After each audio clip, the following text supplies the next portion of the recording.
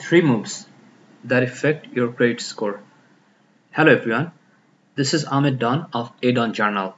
Today, I'll talk about three moves that affect your credit score.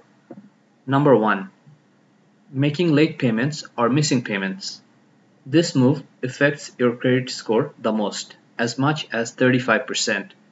Paying on time can make the difference between an average or an excellent credit score. Number two, borrowing too much.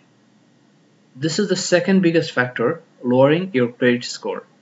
Your outstanding debt counts for 30% of your credit score. Do not borrow up to your limit. Keep it 25% or less of your available limits. Number 3. Closing two old credit card accounts.